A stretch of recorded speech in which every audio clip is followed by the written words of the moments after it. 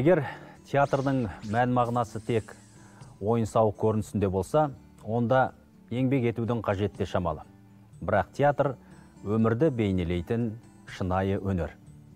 Армысыздар ағайын эфирде сара сөз бүгінгі бағдарламамыздың қонағы нұрсұлтан қаласының намат театрының бас режиссері қазақстанның еңбек сіңірген қайраткері сайлау қамиев. Қош келдің сәке. А қош көрдік. Қалдарыңыз қалай? Жақсы шүкір.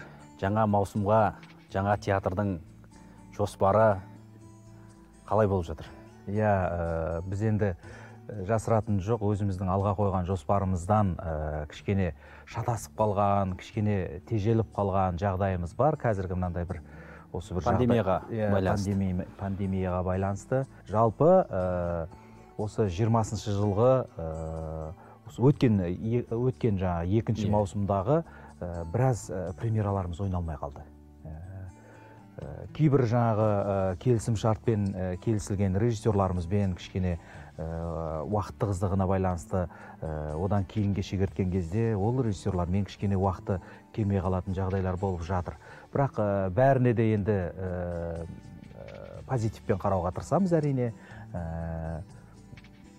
Жұмысымыз қазір енді рұқсат берді ғой. Театр өзінің дайындық жұмыстарына кірісті. Ә, алда ә, премьералар болады болады міндетті түрде. Ә, кәдімгідей дайындалып жатырмыз. Қадыр жетпісбаев ағамыздың қамқорлығымен сарыарқаға жол тартқаныңа 20 жылдан асыпты. 22 жыл болып 22 жыл. Өмір мектебінен өттің. Жолдар мен жылдар не үйретті не түйдің? Ә, мамандыққа ә, сатқындық жасамау ә, мамандығыңды шексіз сүю ә, деген ә, бір ана қазір енді пафос болса да мен жалпы осы өткен өмірімнен сол бір өзімнің мамандығыма деген ә, жақсы көрушілігімді махаббатымды жоғалтпағаным үшін мен осы шүкір деймін. Және дәл осы жолда менің жанымдағы кездескен адамдар әріптестер достар жолдастардың дәл осылай болып кездескеніне шүкірлік етемін. Мүмкін не берді. Әрине бұл өте үлкен мектеп берді яғни сол бір сара жолмен біздің жаңағы ұрп, ә, ұрпақтар сабақтастығы дейді ғой. Сол ұрпақтар сабақтастығының куәгері бола білдім. Мен соған шүкір деймін. Себебі ә, күні кешегі мәмбетовтің өзінің ә, қол астындағы жұмыс жасауы және оның режиссер мен актер ретінде сонымен жұмыс жасауымның өзі ә, менің сол жүріп өткен жолымдағы бір айшықты ә, оқиғалардың бірі деп айта аламын. Яғни мен өз мамандығыма ә, адал болдым деп ойлаймын. Рахмет. Және сол жолда келе жатырмын өткенге бір шегініс жасайықшы. Ә, студенттік жылдарға оралмау ұлы ұстаздарды ұмытумен пара пар кәукен кенжетаев есім сегізбаев амангелді сембин мұрат әбзелбаев. Ұстаз бен шәкірт сыры әр адамның өзіне аян белестер ғой. Мхм мхм. Ә, әрине ә, біздің ә, ұстазымыз ә, кәукен кенжетаев болсын ә, есім сегізбаев болсын ә, актерлық мамандықта бізге ә, ешқандай жаңағындай ә, рамкаға салған жоқ. Мен ә, кейде бір ә, ойлаймын ә, мектеп деген нәрсе бар ә, және де сол ұстаздың бір жаңағы қолы деген тұрады. Ә, мен кей кезде осы өзімнің ұстаздарымның ә, ол енді уақыт өте келе өзің жаңа анализ жасайсың талдайсың. Сол кезде біздің ә, ұстаздарымыздың ә, жаңа даналығының бірі ол өз шәкірттерінен өздерін жасағысы келген жоқ. Немесе өздерінің осы өнердегі ой ойларын бізге тәптіштеп тыққысы келген жоқ. Яғни олар әр алдына келген студенттің яғни шәкірттің Өзі тұлға барынша иә тек қана бағыт бағдар берумен ғана айналысып яғни а, шәкірттің өзінің болмысындағы болмысындағы яғни талантын дарынын іске асыру үшін былай ықпал жасады. Яғни осы жағынан келген кезде әрине мен өзімнің ұстаздарыма ә, өте үлкен алғыс айтамын. Кәукен ағамыз болсын есім ағамыз болсын. Одан кейін әрине амангелді сембин өзімнің ә, жаңағы әншілікті үйреткен. Ә, ол кісінің де бір ә, ғажап ә, қасиеттері жаңағы беріліп сабақ беруі жалпы өнерге берілудің не екенін ол ә, сөзбен немесе бір ақыл айтумен мораль оқумен емес өнерге берілудің не екенін ол өзінің сабақ процесі кезінде түсіндіретін. Оның жаңағы әр жаңағы распевкадан кейінгі жаңағы ә, деп жаңағы концертмейстерді шығарып жіберіп жайлап шешіп қойып ішіндегі жаңағы терлеп кеткен жаңағы киімін шешіп қойып басқа киімді киіп келіп алдыңа келіп отырып ары қарай сабақ жалғастыруының өзі оның соншалықты жаңағы кішкентай жаңағы берілген бір сағаттың ішінде терлеп тұрып ә, өзінің жұмысын көрсету ол менің мысалға көз алдымда өмір бақи қалатын ә, картиналар да былайша айтқанда. Менің өз өмір жолымда ұлы тұлғалар өте көп кездесті. Жаңағы майра апамыз ә, майра шәкенқызы ең алғаш менің барлық оқудан құлап бара жатқан кезде әй бала тұра тұршы осы сенің бір ә, даусыңнан бір жалт еткен бір дүние байқадым. Ә, сен бізге жаңағы еркін тыңда, тыңдаушы болып кел кейін сені жаңағы курсқа қабылдаймын деп тұрып ауылға кетіп бара жатқан жерімнен алып қалған мысалға майра шәкенқызын мен енді өмір бақи ұмытуым мүмкін емес. Одан кейінгі жаңағы ермек серкебаевтың классына барғаным. Ермек серкебаевтың классына мені роза жаманқызы үмбетова өзі кәдімгі жетектеп алып барып консерваторияға түсірді. Мынау енді ермек ағаңнан оқитын боласың деп тұрып ермек ағамның классына түсіріп берген. Енді былайша айтқанда олардың барлығы ұлы тұлғалар ғой. Сол ұлы тұлғалардың мен былайша айтқанда тағдырымда шапағатын көрдім. Жаңа мектеп туралы айтып қалдың. Тағы бір мектеп бар. Бұл мәмбетов мектебі. Күләш байсейітов атындағы опера және балет театрына қыз жібек операсын қойды. Ғабит мүсіреповтің е, нешінші жыл бұл? Ә, қателеспесем екі мың екі мың бір болу керек екі мың бір. Өзің төлегенді сомдадың. Иә. енді сол театрда ә, төлегенді орындайтын опера әншілері болды. Иә әрине әрине. сені неге шақырды? Ә, бұл енді тағы да менің бір ә, маңдайымның бір бағы деп ойлаймын. Ә, себебі сол әзекеңнің ә, бұл жерде әзекең ә, драмалық жағына көбірек көңіл бөлетін кез келген нәрсенің. Және операның өзінде де әзекеңнің бір ә, қазақ операсындағы қойылымдарға алып келген өзгерісі ол жаңағы опералық әншілердің ә, тіп-тіке шығып әдемі костюм киіп ана жердегі дирижерға қарап тұрып жаңағы өзінің партиясын орындап беру деген жаңағы шаблон яғни сондай стандартты ол кісі Бұзды. яғни опера әншісі болу деген сөз ол тұрып алып жаңағы әдемі дауыспен айт әрине дауыс бірінші кезекте бірақ та ол әннің актерлық шеберлігі ол әннің ә, драмалық ә, жаңағы конфликтке құрылған ә, болып шығуына мысалға ә, менің ойымша ә, мәмбетовтің үлкен қосқан үлесі бар. Одан кейін одан кейінгі мысалға опералық ә, ә, жаңағы қойылымдарды шетелдік жаңағы режиссерлар шақыра бастады. Ол шетелдік режиссерлар жаңағы опера әншілерін домалатты секіртті Иә. жүгіртті. Яғни айтқанда драмалық әртіске қандай талап қойылады сахнада? Дәл сол сол талапты опера әншілеріне де қойғысы келіп оның білмеймін енді ә, әз ағамен бұл тақырып жөнінде мен әрине сөйлескен жоқпын. Бірақ менің ойымша менің жаңағы жастығым жаңағы драма театрдағы драмалық актер екенімді ә, алып келуі опералық жаңағы ән, әнді беруі. Сосын бір жағынан енді қыз жібек операсы енді ол бір ә, кәдімгі әлемдік деңгейдегі опералық ә, дүние деп айта алмаймыз ғой. Ол біздің қазақи музыкалық спектакль деп айтсақ болады. Ә, сондықтан да ол жерде көбінесе жаңағындай ә, актерлық дүниелер ә, драмалық дүниелер керек болғаннан кейін ә, мәмбетов енді маған ә, сол ә, рөлді сеніп тапсырды. 2013 жылы алғашқы спектакліңді қойдың бұл ә, Режиссер. ғабит мүсіреповтің қыз жібек операсы оны сен опера ретінде емес музыкалық трагедия ретінде қалекей театрына сахналадың. Режиссураға келерде жалпы өнерде қолғабыс болған. Жол сілтеген көмек көрсеткен адамдар болды ма? Ә, әрине мен жаңағы ә, сол ә, әзекемді әз әз ағаңды мысалға мен өзімнің ә, ұстазым деп есептеймін. Ә, себебі сол ә, ең алғаш сол қыз жібекті ә, әрине алуыма себепкер болған әрине осы ә, еркін жуасбеков ағам ол менің ғылыми жетекшім болды және сол театрдың директоры болып тұрған кез сол кісінің негізі айтуы бойынша. Ал енді мен сонымен мына дипломдық жұмыс ретінде қойдың ғой сен иә режиссерлық Режиссерлық. ә, ә, мамандықты бітірдім мен 2011-2013 жылдары жүргенов атындағы ә, өнер академиясында режиссурада оқыған кезде соның ә, жаңағы дипломдық жұмыс ретінде ә, алған болатынмын. Және оны алуға себепкер бірінші себепкер болған әрине ә, біздің сол еркін ағам жуасбеков Ә, ал енді спектакль барысында мен өзімді шыны керек ә, ә, осы қыз жібектегі кейбір ә, сәттер ол мәмбетовтікі. Мен оны жасырмаймын оны айтамын.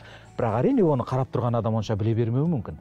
А бірақ та мен өзім білемін ғой жаңағы мизансцена құруға келген кезде ә, актерларды кішкене бір мақсатқа ә, жаңағы бағыттаған кездерде әрине ол ә, мәмбетовтың ә, мектебі. маған айтқан кездері мәмбетовтің сол кезде мизансценаларды кейбір түсіндірген сәттері менің есімде қалып қалған. Ә, мен бірақ дәл сол кезде мәмбетовпен жұмыс жасаған кезде режиссер болам деген үш ұйықтасам түсіме кірген емес. Болатын. Бірақ ә, өзі уақыттың өзі осылай алып келген кезде ә, дәл сол сол кездегі дүниелердің барлығы бір анау эмоционалды ә, еске сақтау дейді ғой сол келеді екен. Ә, мен өзімді мысалға бағыт бағдар беруші әлі күнге дейін мен қазіргі қойып жүрген спектакльдерімде ә, бір мәмбетовпен тілдесіп отырғандай бір ә, сәттерім менде болады. Рухани тілде- тілдесіп отырғандай сәттер. Сәке отандық көрермендердің қазіргі күні көрермендер қандай бағыттағы қойылымдарға көбірек сұраныс бар? Негізі осыны дөп басып бір ә, дәл ә, айту мүмкін емес. Ә, ол үшін жұмыс істеу керек. Жұмыс істеліну керек және де көрермендерге берілетін дүние сан алуан болу керек. Ә, яғни айтқанда мына ә, біздегі қазіргі енді осы нұрсұлтан қаласының театрларын алайықшы. Нұрсұлтан қаласының театрларының репертуары ә, біркелкілеу ма деп ойлаймын мен. Яғни репертуарға саналуандық керек. Яғни ә, көрермен өзінің таңдаған дүниесін дүниесіне ә, кейде тіпті таңдаған емес кейде тіпті көрермен өзі бір ә, былай аяқ астынан бір театрға жиналып келіп қалады ғой.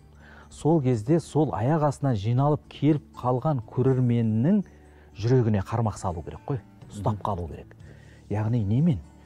Әрине бұл біздің міндетті түрде ол біздің репертуарымызбен алып отырған дүниемізбен.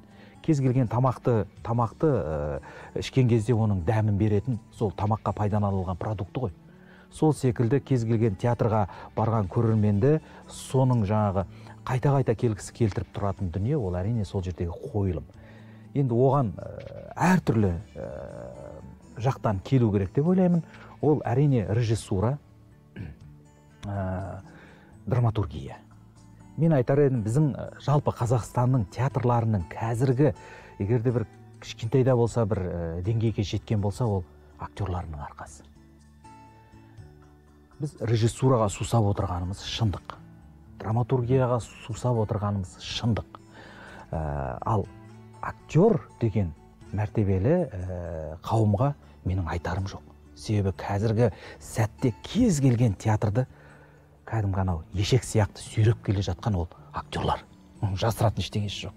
Яғни біздің ә, мына режиссурадағы ә, мамандық режиссура деген мамандықты ә, тек қана қазақстанның деңгейінде емес әлемдік деңгейге шығаратындай ә, бір кәдімгі оқу процесі керек бізге. Бұның қандай жолдары бар?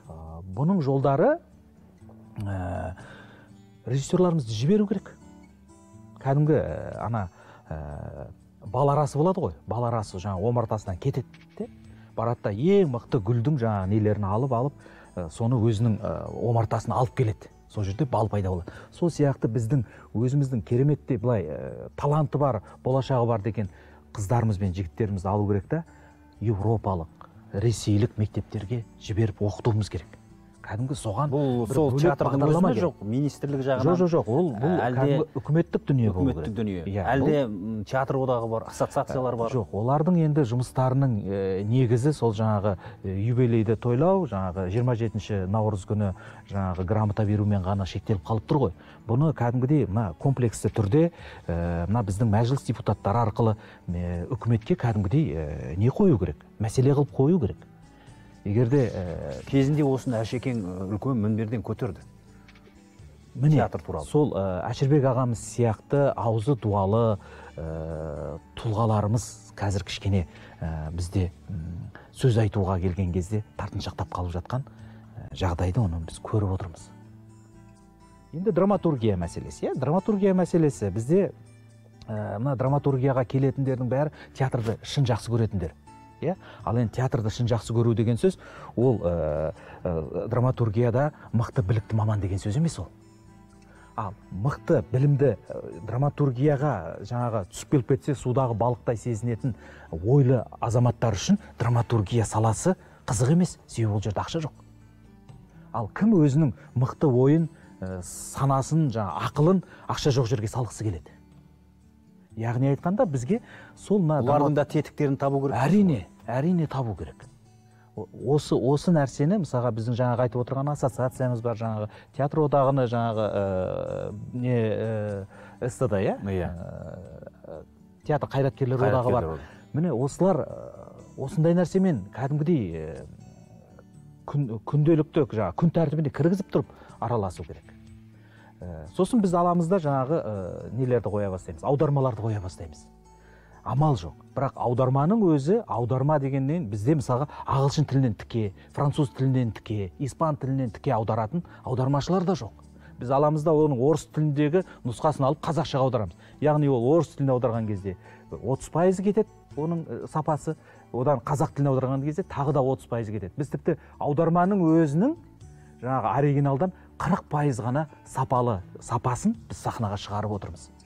Мен енді бұл жөнінде жалпы мына театрға барғаннан кейін э, енді қазір енді біз э, репертуарлық саясат дейміз. Сондай араласа бастаған кезде дәл осы проблемалар менің алдымнан кәдімгідей шыға бастады. Мен бұрын тіпті мән бермейтінмін. Актер болып жүрген кезімде осыны сөзің аузыңда осы ресейге біз ә, мына күн сәулесі түспеген деген психологиялық драма бар. Сонымен барған кезде Иә. сол кезде сыншылар соның аудармасына тиісті. Алпыс бірден бесінші жылы орысшаға аударылыпты. Ал россияда әр бес жыл сайын ба аударылып отырады екен аудармашылар. Аударылса да және олар оригинал тілден аударады иә. ең бастысы. Ал бізде ағылшын тілінен тіке аударылатындар үшін де бұл сала қызық емес. Бізде бар ғой аудармашылар бар оны ә, біз қу шөппен аузымыз сүртудің керегі жоқ. Бірақ та біз соларды қызықтыра алмай отырмыз. Ал оларды қызықтыратын не? Оларды қызықтыратын сол жердегі материалдық дүние. Біз соған біз соған кәдімгідей кірісуіміз керек. Соны көтеріп осы нәрселерді алып келетін болсақ біздер әйтеуір кішкене де болса да сапаға дүние сапаға жасай бастаймыз да біз жаңағы ешек қылып актерларымызды ғана жек қойып отырмаймыз. Актерлардың жұмысы ғой енді бүткіл қазір кез келген қазақстан театрына барайықшы бір әжептәуір дүние көретін болсақ оны сүйреп отырған актер. А сонда қайда біздің жаңағы драматургтарымыз қайда? Біздің мықты режиссурамыз қайда? Осындай нәрсе айтсаң кей кезде көңіліне тиіп қалады дейміз. Ренжіп қалып жатады. Иә енді қашаманға енді көңілге қарауға болады. Өзі бір кезек кей кезде осы көңілімізге қараймыз деп үлкен шынайы саф өнерге қиянат жасап жатқан жоқпыз ба? Иә біз енді кейде осыны айтамыз дейміз да кейде ана ә, жеке тұлғаға кетіп қаламыз. Жеке тұлғаға тиісудің қажеті жоқ. Өзіне қабылдап жатсашы ол.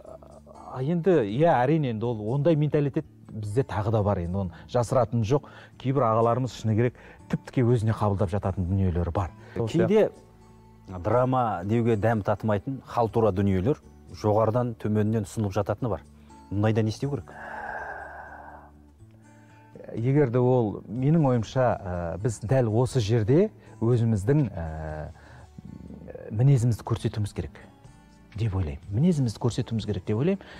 Енді бұл әрі кетсе бір күн ренжір он күн ренжір үш күн сәлем бермес бес күн тағы бір нәрсе болар. Бірақ күндердің күнінде ә, дәл соның түкке тұрмас дүние екеніне көз жетеді ақылы бар адамның. Ал енді ақылсыз адамға сен мың жерден қазір енді асты үстіне түс оны ештеңе дәлелдей алмайсың. Ә, сондықтан да ондай кездерде мінезді болу керек. Яғни біздің театр ә, директорлары менеджерларымыз мына талғам мәселесіне келген кезде жоғары болу керек. Енді айтуға әрине оңай. Ә, мен мысалға өзім ә, шамам келгенше ә, принципінде тұруға тұрғанды жақсы көремін. Кейбір дүниелер жатыр менде де қазір пьесалар осыны бір қойып жіберу керек осыны бір қойып жіберу керек деп. Мен әрине оны жеке өзім пікір шығара алмаймын жаңағы көркемдік кеңес. көркемдік кеңес бар соларға оқыған кезде ол жерде де кәдімгідей әдемі әдемі батыл батыл сөздерін айтатын актер актрисалар отыр. Содан жаңағы солардың соңында шешімін шығарасың да сол барлығын тіркеп жаңағы авторға жібересің. Ренжімеңіз осындай осындай дүние болып жатыр деп. Меніңше осындай жаңағы мәдениетті түрде ә, конструктивті диалог жасауға біз келуіміз керек. Көңілге қарау деген достық деген мәселе ол басқа дүние. Белгілі жазушы драматург сайын мұратбеков ертеректе мынандай пікір айтқан екен. Қазірде жылына жүзге жуық пьеса жазылатын көрінеді бұл меніңше сапасыздықпен қатар салмақсыздықтың да дәлелі. Ертеректе жылына бір пьеса дүниеге келсе келетін келмесе үлкен әңгіме болатын. Ал терең толғаныстан туған халық өмірін бейнелетін пьесалардың сахнадағы өмірі де ұзақ болатын. Қазір ше ә, бұл енді саян ағамыздың бұл қай, қай жыл білдірген пікір екен? Бұл енді кеңестік одақ кезінде. Иә. білдірген пікірі шығар. Ол кездердегі театрдың деңгейі ол кездердегі театрдың статусы бөлек еді ғой. Ал енді қазір біз театрымыздың статусы мен деңгейін түсіріп алдық қой. Себебі ә, өте арзан дүние арзан дүниеге мен тағы да айтамын мықты ойлы ә, адамдар жалпы негізі арзан дүниеге ә, өзінің уақытын кетіргісі келмейді. Мен тағы да айтып отырмын. Біздің мына театрдағы ә, мына ә, атмосфера атмосфера емес театрдағы дүниені жалпы біз ә, деңгейін жоғары көтер мысалға ә, мұғалімдер мәртебесін көтерді ғой. Қазір әжептәуір болып қалды ғой. Дәрігерлер. Дәрігерлердің мысалға қазір ә, дәрежесін көтеріп жатыр иә? Сол сияқты біздің мына театр өнеріміздің де дәрежесін көтеру керек. Неге? Себебі ә, театр ол ә, жаңағы стадион жинайтын өнер емес. Стадионды футбол жинайды. Ондай немесе жаңағы ә, ә, театр деген ол ә, жаңағы көп жаңағы не деуші еді? үш мың адамдық бес мың адамдық ә, концерттік залдарды жинайтын шоу өнер емес. Театр деген ол бәріміз жақсы білеміз ол элиталы өнер. Оны оны жаңағы бұқара халықтың бәрі жақсы көруі мүмкін емес. Ал егер де ә, біз театр өнерін өлтіріп алатын болсақ онда біз өзіміздің жаңағы тамырымыздан айырылып қаламыз. Себебі біздің бүткіл жазылған дүниелеріміз рухани дүниелеріміздің барлығын қазір ешкім кітапты ашып оқып жатқан жоқ. Сол рухани дүниелердің ә, жаңағы халыққа жететін ә, ортасы ол театр сахнасы. Сондықтан да біз театр сахнасын мысалға біздің президентіміз де ең алғаш ә, жаңағы өзінің президенттік ә, қабылдауларын жасаған кезде біздің ә, театр майталмандарын қабылдауының өзі жалпы бізге мына басшылықтан негізі көзқарас жаман деп айта алмаймын. Жақсы біз содан кейінгі өзіміз түсіріп алып жатырмыз ба деп ойлаймын. Мына қазір мына театрдың тұтқасын ұстап отырған азаматтарымыз бен азаматшаларымыздың мен кейде жаңағы немқұрайлылығына кішкене көңілім қалады. Әйтпесе айтты ғой театрға өнерге. Әрине әйтпесе жоғары негізі трибунада жалпы театр туралы әңгіме қозғалды. Ал енді сол қозғалған әңгімені енді ол кісі отырмайды ғой. Ойбай театрды не істеп жатсыңдар театрды не істеп жатсыңдар айтылды. Соны ары қарай алып кету. Соны ары қарай кәдімгі іс жүзінде қолдап кететіндей кішкене бұл туралы тұңғышбай ағамыз да президентпен кездескенде айтты. Сол ғой. Талғат ағамыз да президентпен кездескенде айтты. майталмандарды қабылдады. Иә. Қабылдаған кезде ол қабылдауының өзі яғни театрға деген көзқарастың жақсы екенін білдіреді ғой. Өзінің жолдауында да айтты ғой. Театр ә, әртістерінің жаңағы жалақылары туралы айтылып жатты. Мәселе енді осыны ары қарай жаңағы режиссурада болсын драматургияда болсын осыны ары қарай жаңағы комплексті түрде алып кететін бізге жаңағы ұйымдар керек. Немесе жаңағы әшірбек ағамыздың соңын жаңағы жоқтатпайтын тұлғаларымыз керек ағаларымыз. Деп ойлаймын. Сеніңше қазір театр сыны бар ма? Ә, театр сынын ә, тағы да мен қу шөппен аузым сүрткім келіп отырған жоқ. Біздің театр сыны бар бірақ біздің театр сынымыз дәл қазіргі уақытта заман талабына кішкене ілесе алмай жатырған жөні бар. Заман талабына ілесе алмай жатыр. Себебі театр сыны театрдың алдында отыру керек. Яғни театрда қойылатын қойылымдардың қойылымдарды олар өздерінің сыны арқылы өшірмеу керек. Өздерінің сыны арқылы жетелек жетелеу керек. Жетелеу деген жоқ бізде. Театр сыны бар әрине.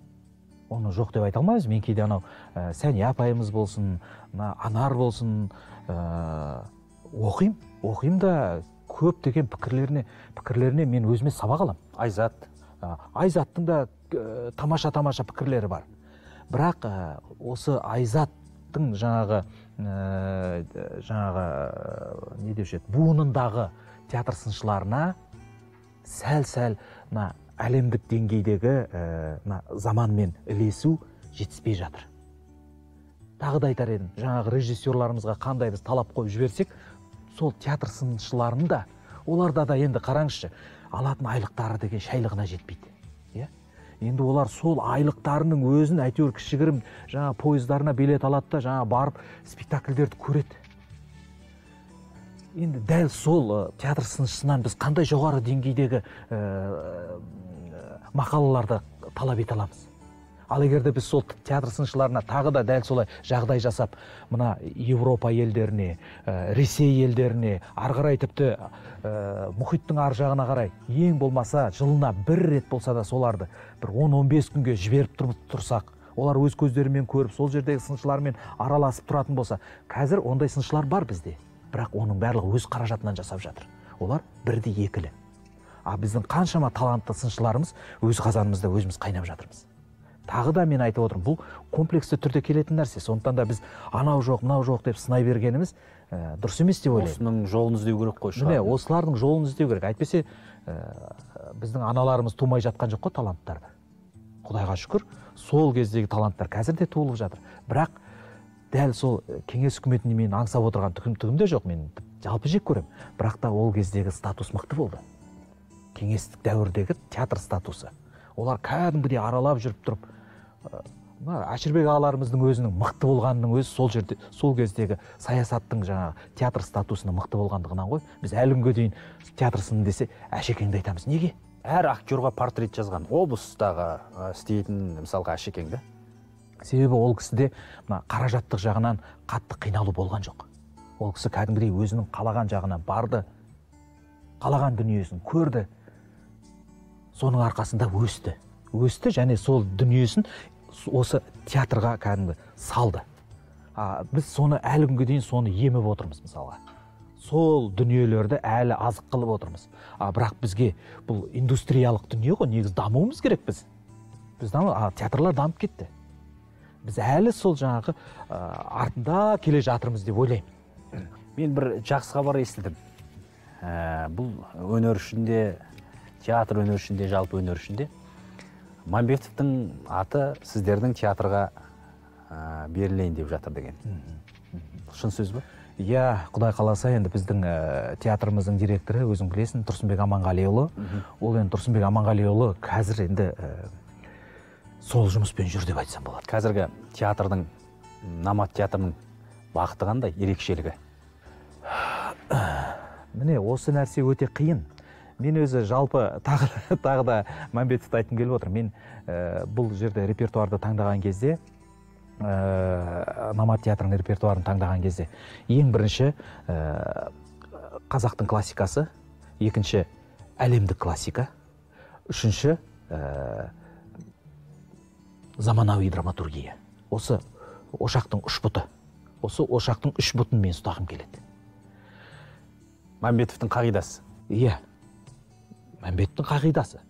Ә, бұл және ә, ешқашанда ә, қа- қателеспейтін дүние. Себебі классикамен ол біз көрерменді де актерді да өсіреміз. Сәке үлкен әңгіме болды. Рахмет театр туралы. Ә, табыс тілейміз.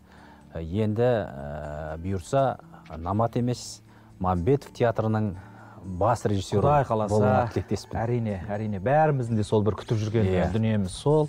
Құдай қаласа осы тіпті маусымымызды солай ашып жіберсек деген де ойымыз бар. Енді ол бәрекелді. ә- әзірге енді мен ә, дәл солай ашылады деп айта алмаймыз. Әрине ол жұмыс жасалып жатыр. Сол күнге жеткізсін. Әумин қазақтың жүрегі тоқтамасын. Өнердің жүрегі тоқтамасын. Өнерін өлтіріп алған қазақ ел болып оңбайды. Елінен айнып қалған. Жүрек жүрек боп соғып жарытпайды. Екеуі бөлінбес бір бүтін тұтас дүние деп есептеймін. Ендеше жүрегіміз тоқтамасын. Әшірбек сығай. Бұл сара сөз.